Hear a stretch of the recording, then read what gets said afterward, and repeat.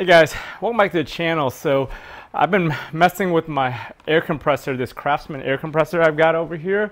This thing, I had another video of me troubleshooting it last year, trying to figure out why it wasn't running. And I was doing some more research because it's still tripping breakers. So it looks like the last time I replaced the run compressor on this thing, I replaced it with a 50 microfarad, which was a little bit bigger than the one that came with this. I learned recently, even though I should have known as an electrical engineer, that you don't ever want to upsize or downsize your capacitors on your motors unless you have to or it's an emergency situation. What it is is with these single phase motors, they need the capacitor. It creates a three phase induction inside the actual motor. So you need it perfectly balanced so you don't overheat the motor. So that's what I think is happening. Other than that, I think it's maybe the worn bearings inside the motor that's tripping the breakers. But either way, I'm gonna put in the correct microfarad capacitor today and see what happens.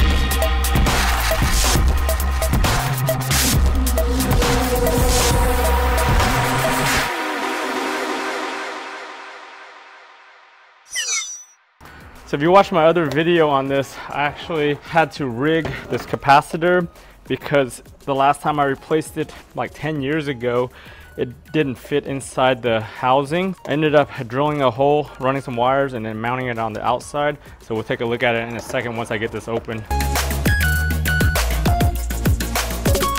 So you can see I have this 50 microfarad capacitor mounted on the outside, and I actually had to rig this bracket on because my cover, I've taken it off so many times that it's kind of broke.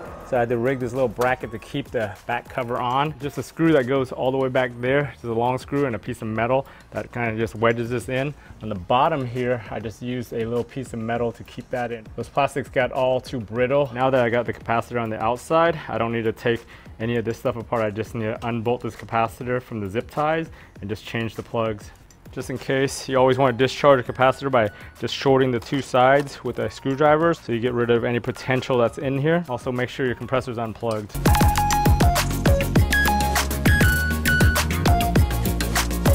Back in the same spot, make the connections. The reds go on one side, brown goes on the other side. Make sure we tape everything up and get this all back. You see I have all these little zip ties to kind of keep things from shorting out or touching. So got everything secured.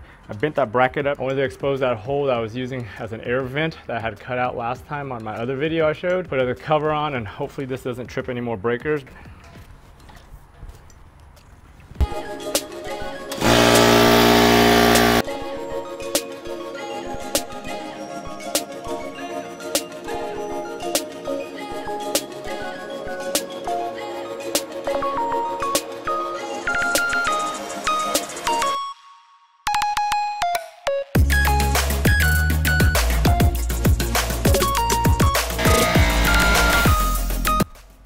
Whoa, it didn't trip the breaker. This is the first time this ever happened. Double check, make sure the GFI still works over here.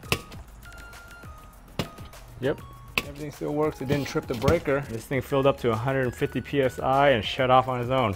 Wow, maybe it was that stupid capacitor that I had oversized for the longest time that was causing these issues. Hopefully keeps on running like this. Let me use it for a little bit and I'll give you an update. So I just dusted out my garage and I drained this thing down to like 70 PSI. I'm gonna go ahead and turn it back on to see if it charges back to 150 or it trips.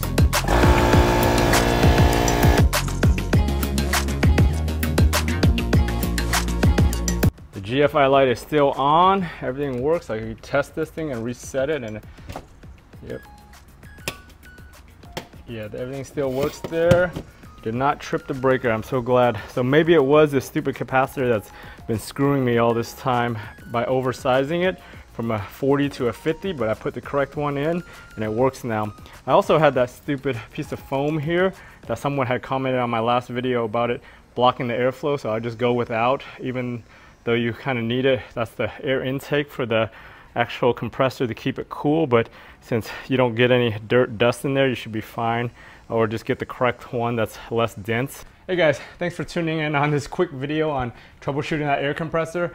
Obviously, I made a mistake last time when I troubleshot this thing and put the wrong size capacitor in there. Now that I got the correct capacitor, everything's working fine and I'm hoping it keeps on working, especially when I paint something or I need it running all the time, like when I'm sandblasting and doing all that crap. Remember guys, for all these DIY projects, whether it's on your car, your house, or anything, if I can do it, you guys can do it. That's why I make these videos, so I can show you guys these simple and easy fixes. If you found this video useful, give it a thumbs up. If you haven't subscribed to your channel already, go ahead and subscribe to your channel to stay up to date for all my DIY projects around the garage, around the house, or on my cars. Anyways, I want to thank you guys for watching all the way to the end, and I'll talk to you guys next time.